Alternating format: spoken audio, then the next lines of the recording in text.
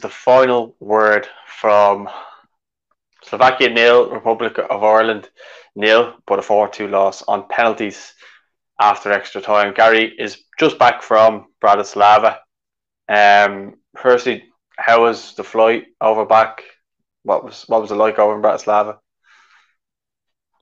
Well, it's very quiet, I suppose. Um, the the pretty much the, the same as us, or even a bit more shut down than us with regards COVID. Um, the game was very low key. The attendance was was tiny. I mean, you actually needed a printed uh, COVID test, negative COVID test within 72 hours.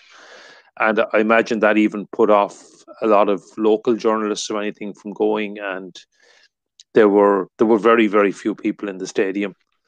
Um, outside, you wouldn't even know the game was going on. I mean, my hotel was actually just around the corner from the stadium, so I actually stayed out there. I I went for something to eat in a restaurant with, that had an outdoors before the game, and I was there on my own. There was not much. I didn't see any evidence of Slovak fans except at the start of the game. You could actually hear them for about thirty seconds, and I don't know then if they packed up and left or if they were actually moved on because I didn't hear them after that. But they were very noisy at the start of the game. But otherwise, you wouldn't really know the game was on. There wasn't. Um, any real atmosphere, or excitement around the place. All the pubs there shut at 10 o'clock as well. So that's probably a bit of a dampener as well. So, um, yeah, it's it's really strange. Uh, it's really strange times and uh, totally different from your typical Irish away game when you have thousands of fans. Uh, every seat and every pub is gone, and uh, just brilliant atmosphere, which unfortunately isn't around anymore. Yeah, we you would hope it would be back soon anyway. But uh, we get in with the lineup because there was obviously uh, a bit of confusion um, with Aaron Connolly and, and Adam Idah because we were all expecting Aaron Connolly to start. It was basically the team I'd picked on the start 11 show, except McLean was in for Aaron Connolly. Everything else was correct. I would say, had it not been the case that basically Aaron Connolly and Adam Idah were sitting in front of uh, a backroom member of the FAI staff on the plane, um, was it no, you know, wasn't wasn't even dealing with the person or wasn't didn't have anything to do with just sitting directly in front of them, and because of that, apparently they uh, they missed it. There was a lot of nonsense going around on WhatsApp, say some Egypt putting around some fake news. I, I don't know why this is always going around. It's like that. Oh, my my uncle's cousin's brother is in the army, and the whole country's going to be locked down tomorrow. All this bullshit. Um, yeah. I had people text me, go, "Oh, look at this! Look at this!" It's, just, it's always a, a, new way to shit on the FAI, even when they haven't done anything wrong. Uh, Dan McDonnell came out and cleared it up anyway. Um, very respected journalist. Uh, he he said that it goes they were trying to say that basically it was it was done alphabetically to Adam and Aaron. It wasn't done correctly or something nonsense. It's put in by their surnames anyway, so that's that's so that's wrong anyway. But Connolly missed out apparently as well. Stephen Kenny said after the game as well. They, they did try to appeal it. It was like 0.3 of a meter or centimeter or something like that. Um, so pretty much it was a bit of a silly decision. Yeah, yeah, it's an interesting one uh, because I'm not. When he actually said he tried to appeal it, I'm actually wondering on on how were they actually ruled out of the game, and and whose say so. I mean, They were on a flight, so. But do they have jurisdiction? I mean, and how did the HSE even um, get involved in such a situation? Uh, I'm not sure because he, he came out after the game to speak to Guy Havord, and, and that's basically what he, he was saying on, on the interview. He was just like, we tried to appeal it, but the, the measures in Ireland are, are, are much more than they are in, say, the UK, because Sky Havord is obviously English at Sky Sports. Yeah, so I, maybe it's the. I, I don't know. Maybe the team doctor made the call. I, I presume for medical matters, maybe that's the way it is. But um, yeah, it's it's unfortunate that I think Aaron Connolly certainly would have and uh, possibly Adam Idah as well. He started the first two games under Stephen, uh, but Aaron Connolly, I think, certainly would have started. I, I think you um, you definitely would have got that right in the starting eleven show. Um, so, yeah, it does. It does seem pretty severe, and uh, and I, I wonder what happens to the guys now. I mean, do they have to stay in Slovakia? And uh, well, apparently the, the, the fine. Apparently, you know, the Stephen said the two of them are fine, they're healthy, and everything like that, but they just weren't allowed to play. Yeah. Uh, well, I think you also well, it's a big loss because I think Aaron Connolly could have been the difference last night. I think he is that person who's that killer edge, has that pace to get in behind, and I feel as though he's one of those players that can turn a half chance into a, a goal. And I felt as though last night would have been the night for him to get that goal that he's probably deserved so far in his international career. Every appearance he's made, he's looked lively, you know. He has, and uh, I remember you actually predicted a one 0 win for us with Aaron Connolly to score, and who knows, who knows, you could have been right. Oh, I wish you were. Um, yeah, and they weren't actually in the stadium at all, uh, at all, obviously as well because of whatever that ruling was. So that just further rubbishes the the ridiculous WhatsApp claim that was doing the rounds. I'd actually love to know who starts these kind of things because it. Uh, I, I I thought it was a bit sinister. I think someone to to make up something like that always just to have a dig at the FAI because, um, well, I I, I'd love them to get called out on it, and you can't just be spreading these malicious and nasty rumors, you know. Yeah, well, the, best thing to do is probably just take no notice of these people. I was glad that um, Dan McDonnell and a few other journalists just kind of put it to bed fairly early, and that was the end of it because I was still getting sent it past midnight and stuff like that. But uh, McLean coming in for Connolly, you could see the logic there. Uh, it made sense. McLean's produced on big away days in the past. Um, so you could see why he was he was put in there. You know what you're going to kind of get. Um, their fullback as well, their number two was um, pressing quite high, so it, it, actually made sense to have McLean in there defensively. He gives us a lot defensively, I feel. Um, but let, let's just kind of talk about how we start because obviously people were nervous about how the defending was going to be and was there going to be large gaps and stuff like that. And I felt as though the defending was brilliant. It was back to back to normal, um, looking solid slightly shaky at times, but very, very, very uh, few times. But I was looking around, we were pressing from the front. We had uh, McGoldrick, we had Hendrick, we had McLean, and we had Robinson all pressing. And I have to say, there was some nice link up play between Matt Doherty um, and Callum Robinson. And then you had McLean and Stevens. And I even felt as though in the first half, Jeff Hendrick was having a very good game. First game I hadn't seen him play very well in a while um, in midfield. And I thought James McCarthy was doing a number on Hamsik and just keeping him quiet. He wasn't letting him dictate play probably as much as he did in the second half. But I felt that McCarthy was just kind of staying in and around him. He's probably man marking him for the game and was keeping him quiet. I felt. What were your kind of thoughts, kind of looking around the team in the first half? Yeah, I thought we played well. I think we didn't have the. I suppose in the first two Nations League games, we had a very high line um, at the back, and I suppose it's a bit risky. We could have been caught uh, caught out a bit. So I thought we we, as you said, we looked a bit more solid. Um, we did defend very well.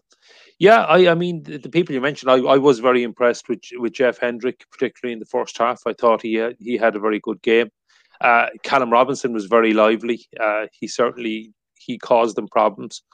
Uh, I thought James McCarthy did well. I mean, he was a loss when he went off. Not too sure about Hamsik. I, I thought he he I, I thought he looked really good for the whole game. He he he is a class player. He he is so good on the ball. He has so much time on the ball, and I thought an awful lot of the Slovakian play did go through him. And uh, so I, I actually did. I was impressed with him, but from uh, James McCarthy's perspective, I think he's the best holding midfield player we have now, and I, I just hope he's, um, well, he's fit long term to be to, to perform that role. Uh, I, I, thought James McLean did okay. He he works really really hard, and as you say, he's he helps the defensive side as well. He tracks back a lot. And Enda Stevens had his best game for for quite a while as well, and maybe having James in front of him helped that as well. Um, yeah, I, I, mean, I was happy with the the performance, and in general, it, it's the, the the way that the players played. I mean, there is nobody I would actually have picked out and said they they had a bad game. Put it that way. Yeah. That, yeah, I thought what you said there was interesting because I had said it previously. Um, when I looked at Connolly and Stevens, they never really seemed to be on the same wavelength on that wing. Sometimes when Enda was looking to go forward, he was telling Connolly to drop in, and they just seemed to be arguing a little bit. Um, obviously because they just wanted to get the result. It wasn't. I'm sure it was nothing personal. Um, but I'd say with another few games of that fitness, maybe that could have, you know, helped because I did think Enda, as you mentioned, had his best game for Ireland in a long time. McLean for me, yeah, he done he done all right, but he needs to do more. A lot of those crosses are never beating the first man, and it's very frustrating because we get in good positions. I remember Jeff Hendrick had opened up a few chances, and well, I thought you know actually I thought he did well once. He actually closed down the fullback, won a ball, I clipped it over to Didsey. Then I think I went there for the corner. Then we had a corner from that from that point. But uh, I think maybe Connolly in that position up top probably gets in behind, and, and maybe he's in one on one quicker than maybe Didsey. But yeah, I think McLean he did the basics right, but we kind of need more for like that's look we're crying out for someone who's going to score goals, but we also need to have players giving good service. Callum Robinson was was kind of similar. He was getting into good positions. He was doing good little things, but not doing a whole lot more. What I was saying about Hamsik is I just felt as though when McCarthy went off the second half, and we'll come to that, I just felt as though he ran the game a lot more when McCarthy went off, and I felt like when McCarthy was on they weren't getting a whole lot of chances.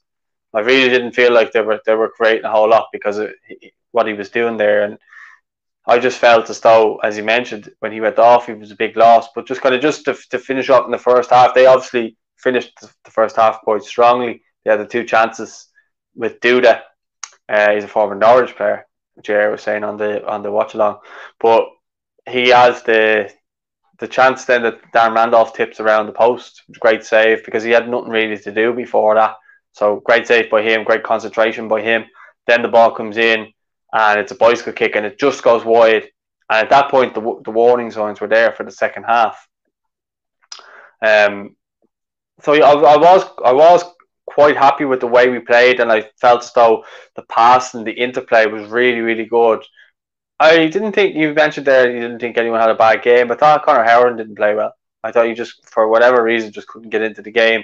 Um, so other people were saying that, that they thought he did, but for me personally, I just didn't think he got in. Now, I, I wouldn't say he was horrific, but I just didn't think he had a good game. He, you know, a lot of the balls he was giving, he was giving the ball away, he was giving the ball away casually from our box, giving to their players and stuff like that, which I just feel like if he had been a bit more careful, maybe we would have got up the pitch a bit uh, quicker and further, and maybe caused more harm, uh, more penetrating passes. I feel, and we could have got up the pitch quicker. I, I didn't think he had a great game. I, I didn't think he was he was bad. I mean, he was involved in quite a bit. He he was on uh, set pieces. I his delivery was pretty good. He he did. We want to talk about his great chance in the in the second half bit frustrating. Uh, one thing I would mention is uh, well, Conor Hourihane's booking, and uh, I could really. I was actually sitting just behind the Irish bench, bench, and there was a lot of frustration with the referee, Mister Turpin. Now, I'm not going to go on and moan about referees. I, I don't think he he changed the course of the game or anything like that, but he seemed to be very fussy about some of our challenges and let some of theirs go. And Conor's looking for dissent was, uh, I think, a culmination of frustration. Stephen had, I think, in about three occasions in about the five or ten minutes before that, shown his exasperation with the referee, and, and there were there were mistakes. I mean, I think there, there were clearly a couple of free kicks to us that he he should have given. Then he gives a very very soft free kick to Slovakia, and I mean, it's the inconsistency of referees that can really um, get at people like that. And Conor's frustration boiled over, and he got a yellow card for it. Thankfully, it wasn't uh, it wasn't costly. Um, yeah, I, I, I can see what you're saying, but I, I thought he did okay, and uh, I think we actually need we actually need either Conor or Robbie Brady on the pitch for set pieces. And now, obviously, nothing came out of the set pieces last night, but I, I think they're still an absolutely crucial part of our game. Yeah, we're kind of getting into the second half then, because you know, in the second half, it was then when you know we were thinking, okay, we we're doing well. It's nil nil here, and we felt I felt at that point watching it with Jer, and I was saying it on the watch along. I think if we get a goal now, you know, I think we'll win it. I think we need to get a goal and make sure we score first. And he was like, no, no, no, I think we'll be okay. I was like, Jer, we need to get a goal here, or it's going to go to extra time, or they're going to score. And yeah, so well, there was a devastating blow. Obviously, James McCarthy going off. He looked like he pulled up with a hamstring injury, so he went off. Alan Browne came on for him, and then Robbie Brady came on for James McLean. Which at that point, I just didn't feel like McLean had been doing a whole lot. Um, if I'm looking at the second half as, as a whole, I think overall it was a fairly even game. The full 90 minutes, I think they had probably as much chances as us. I know you stats there if you want to go through them. Yeah, so I mean, if you look at the stats, I I think I, I think a draw over 90 and 120 minutes was a fair result. First of all, I think possibly argue if anyone deserved to win it, we did. But look, if you look at the stats, I mean, obviously the goals were in little. We had 12 total attempts each, two attempts each on target of the 12. Six attempts each uh, were off target, and four attempts each were blocked had six corners to their five. Um, they they shaded possession 52-48. I mean, uh, there was their passing accuracy was slightly better, but it was an even game. It was a close game. The stats bear that out. I think you're definitely right. I mean, had we scored, or, but had they scored as well, I mean, we both had kind of half chances one goal would definitely, I think, have won it. I, don't, I don't think there would have been any way back had either of us scored. Um, look, it, it, I think we both said, I think no, not just us, everyone was saying it was going to be very tight. It was very tight. The other playoffs, the, the, the other one in our section, Bosnia and Northern Ireland, went the whole way to penalties as well. The two League C, C playoffs went to extra time. There were evenly matched teams, and it was very close, and the stats bear that out. And unfortunately, we came out the wrong side of it. But uh, yeah, if, if you go back to your point in the second half, we yeah, we, I, I thought we played pretty well, and we we took the game to them. Yeah, we did, but um, that's what I'm saying. But when when Alan Browne came on, but I think it was just before Alan Browne came on, they had the chance that was cleared off the, the line by Shane Duffy, which was unbelievable. Um, great block on the line. It was like Richard Dunne against Russia all those years ago. Yeah. And from then, I just felt so like we, we obviously got the chance through Enda Stevens. He spotted a brilliant ball for Alan Browne. And I felt so maybe he goes across the goal there. It's probably a goal or lower. But like hindsight's a wonderful thing. And it's easy for us to sit here and say that now. And then what I found interesting was people were saying how much Shane Duffy's not comfortable on the ball. I thought he was fine yesterday and or last night, whatever you want to call it. I felt I felt though he done really well when he was on the ball. He looked solid defensively, won everything as usual in the air. Uh, Egan beside him as well, but uh, he then picks out an unbelievable pass to Didsy, who then goes on like a mazy run, tries all these little step overs, plays in Callum Robinson, and you're just thinking, hit it.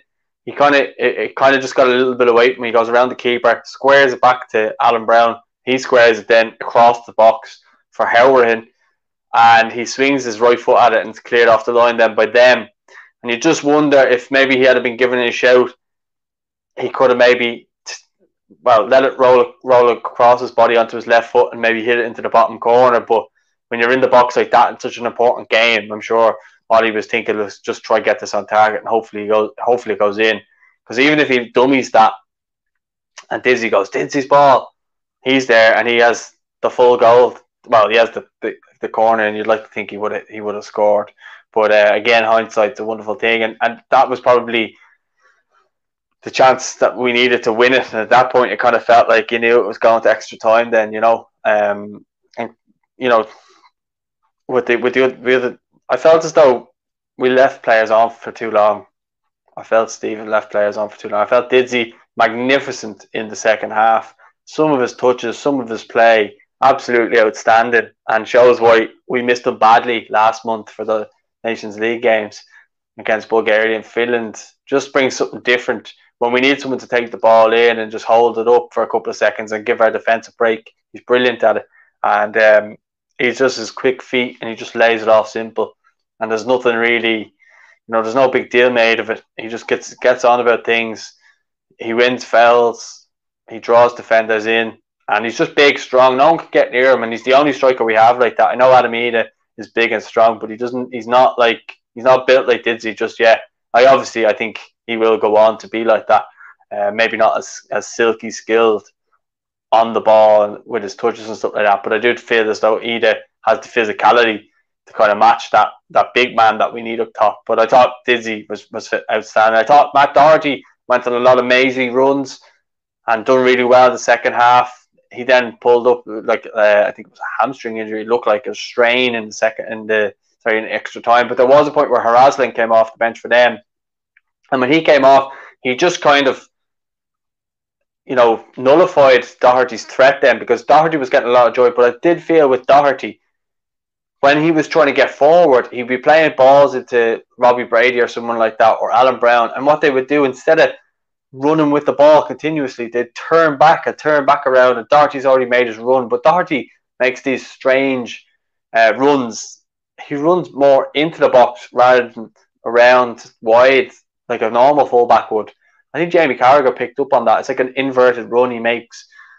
But I felt as though if someone had just played him in, he was he would have been in a few times. And just people weren't noticing it. I also read online a lot of people saying that our fullbacks weren't good yesterday. I would love to know what game they were watching. Yeah, no, it, it, Matt Doherty gets a lot of goals from those runs as well.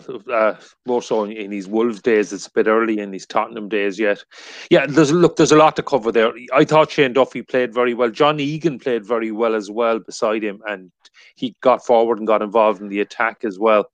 Uh, I think the big thing for Shane was he's been playing regularly for Celtic, and he's just. I mean, for for all the players, they got minutes into their legs in the last month, and it makes a difference because the the the Finland and Bulgaria games were played in pre-season.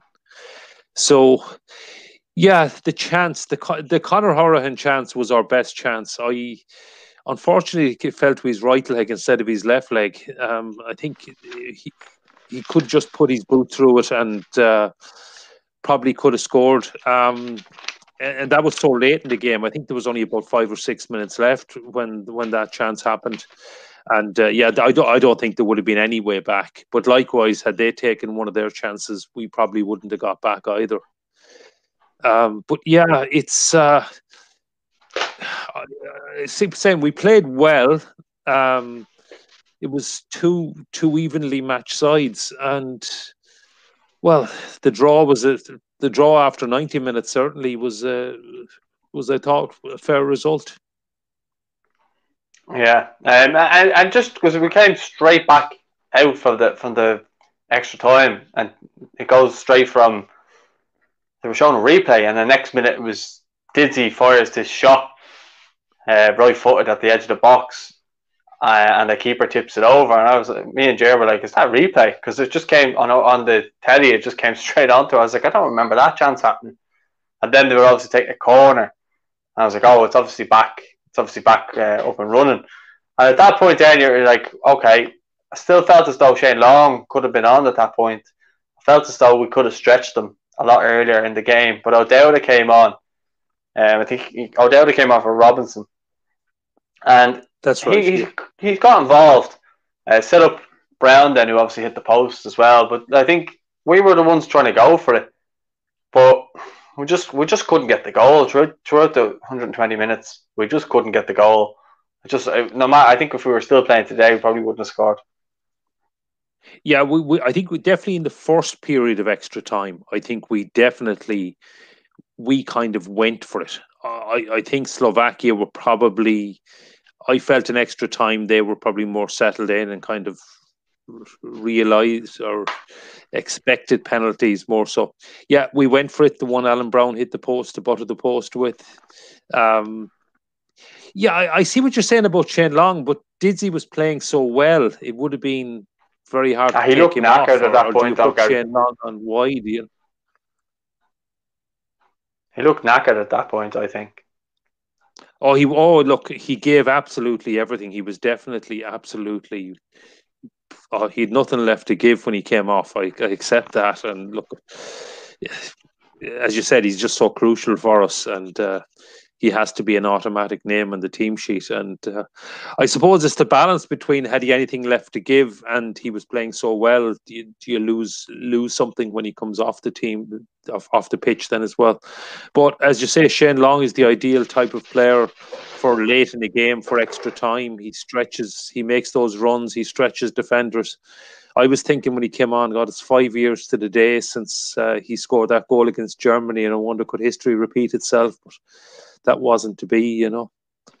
Um, but the yeah, I thought weren't on us. No, oh look, Paul, it's been an awful year in so many ways, and I know it's been an awful year for Slovakia as well. But you kind of felt we're finally due a break, something to give the country a lift, and. Uh, oh, I thought it was going to come last night, and in the end, it's just another dampener, another downer. But yeah, well, we'll just get, but get into the penalties yeah, last week just to time, finish up with. We, we could have won it, but uh, it, it, it, I think it looked. The further we went into extra time, I think penalties looked inevitable. Oh yeah, it did. But I went back to what I said to Jer and the watch live. We, look, we, we need to get a goal. We need to be probably pushing up a bit further. But I think Stephen Kenny was probably looking at going, well, there's a chance that we could push up and concede or we can go into extra time and try push on again. I think that's ultimately what his game plan was. We went to penalties and talk me through the penalty shootout from where you were because I think most people would have seen my reaction watching it live. I was so nervous, I had a horrible feeling in my stomach, and yeah, I mean, I couldn't sleep last night. I didn't go to sleep till six a.m. It's horrible. Yeah, well, I, I, I went live on Instagram with it as well. Um, yeah, so un- unfortunately, they won the toss and went first, which is always, I believe, an advantage in penalty shootouts. And I think they've done stats that in almost 60% of the cases, the team that goes first in the shootout actually wins. And th- well, this was another example to prove that. So, first couple of penalties, uh, the first uh, couple of Slovakian penalties, they um, they, they put them away, no problem. Darren Randolph had had no chance. Um, so we had uh, Ro- Robbie Brady and uh, who took the first penalty again? Hourihane. O'Connor Hourihane took the first one. Yeah. So our first two penalties good were, were, good penalties. Yeah, good pens. Um, so at two two, uh, I think four good pens. Uh, their next pen to go three two up, Darren Randolph uh, that that wasn't the Panenka. That was the one that he he he almost got a fingertip to it down. He went the right way. It was down in the corner, and uh, I think he was very unlucky not to save it. And uh, then we had Alan Browne up, and uh, I, I thought it wasn't a bad penalty. I I I I'm shocked to hear him get him. Here he got a lot of abuse on social media. First of all, I thought he had a great game when he came off the bench. He it was his best game for Ireland. He played really really well and could have won the game for us. Second of all, right. he actually had the guts. He had the guts to stand up and take the penalty. And I'd never be critical of someone for for missing a penalty in the shootout. And it wasn't it wasn't even that bad a penalty. It was pretty much in the corner. Maybe he could have hit it a bit harder, but the keeper had to get down really well. It was probably a nice height maybe for the keeper, but he did make uh, he had to make a really good save for it. Um, so then they were three two up. Next penalty was the that was the Panenka one. Um, again, Darren Randolph he stood up, almost got his hand to it. It was just so frustrating. He seemed so close to it. And he put all his weight on one leg, didn't he? And then tried to go back. Yeah, and he didn't have the right balance, and but he still nearly got a hand on it. Um, I don't know. I'd have been well. I, I just said I wouldn't be critical of someone who missed a penalty in a shootout, but I don't know if one of our lads did a Panenka in a situation like that. Uh, well, I, I don't think it's the time to do it. but anyway, it, it, it, worked out unfortunately for them. Matt Doherty, well, he took a good penalty, just went too high. I mean, if you're putting it into the, the goal that high, they're pretty much unsavable, and unfortunately, just went too high and, and hit the crossbar. Um, but look, penalty shootouts are a lottery. Uh, Darren Randolph got so close to two of theirs. I, I know Stephen does so much work and so so much preparation. Uh, I, I heard afterwards they spent uh, four years of Rodax uh, penalties. That the squad had a couple of iPads out in the pitch to watch the, the, stuff. I mean, there was so much preparation goes into it, but I mean, they, I'm sure they had the same for our our guys as well. Uh, look, a lot of it is actually down to luck at this stage. I mean, if you go through 120 minutes, went through the stats already, we were two very evenly matched teams. A draw was probably a fair result. It's just an awful, awful way to lose.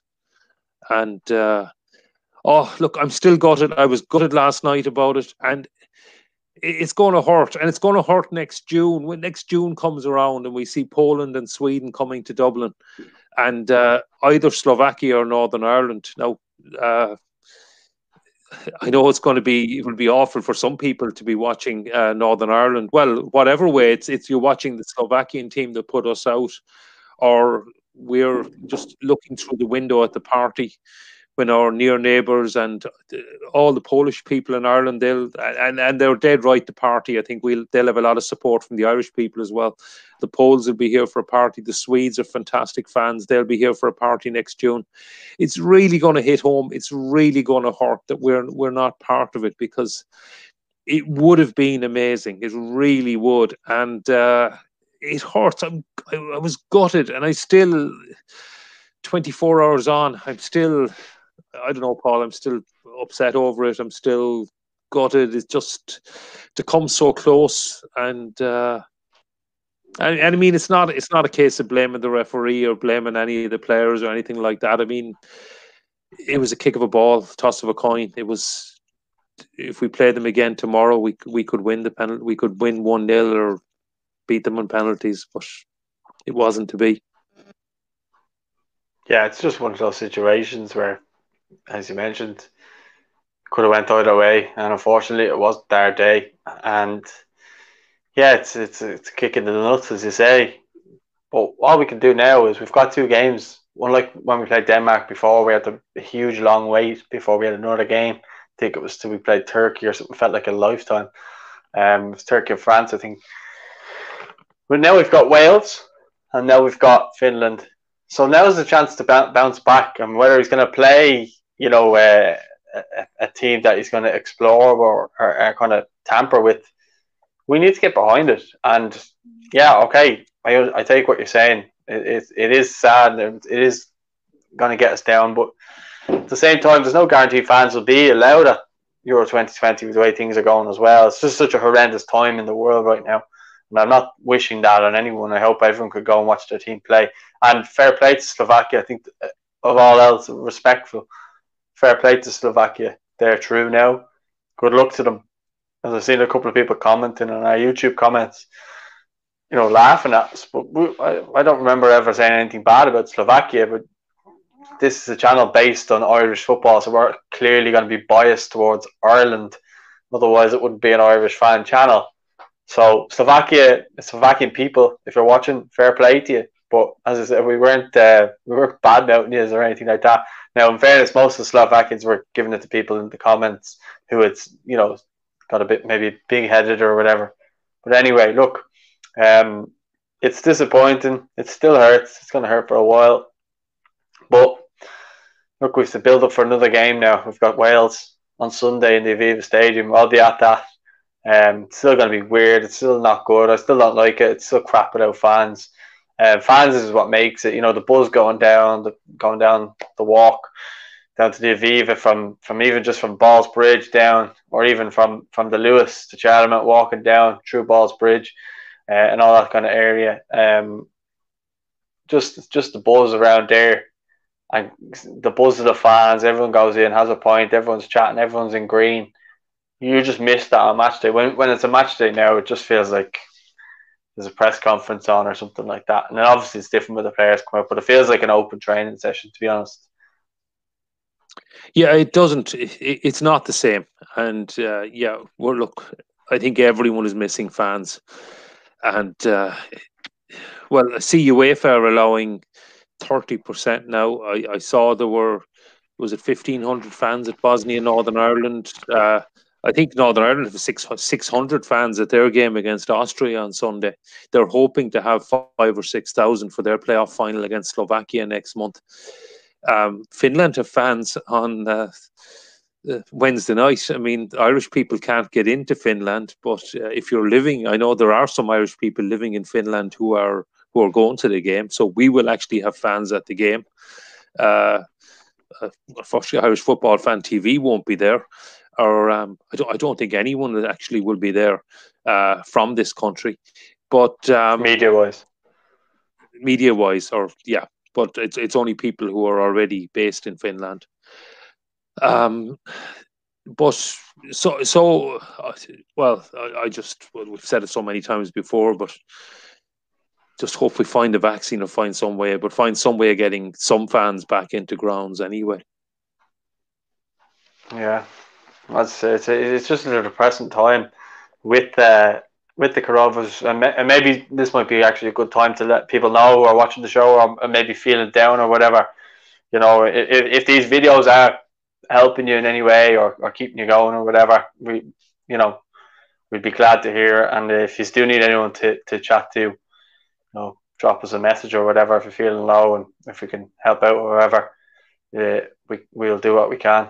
Um, I think we'll we'll leave it at that in terms of the final word. Gary, uh, huge thanks for joining me and giving your insight and stuff like that. Uh, if you want to give us a follow, check out our social media handles below. If you want to subscribe subscribe to the channel, we are very very close now to nine thousand subscribers. So if you're new, you're returning, and you like the videos, head over, subscribe down underneath Gary's uh, name there, or to the just beside it. You click the sub- subscribe button can't even say it, subscribe button, and uh, don't forget to give the video a like as well. And if you if you're listening on podcast as well, don't forget to give it a subscribe too. Thanks for watching, and we'll speak to you all soon.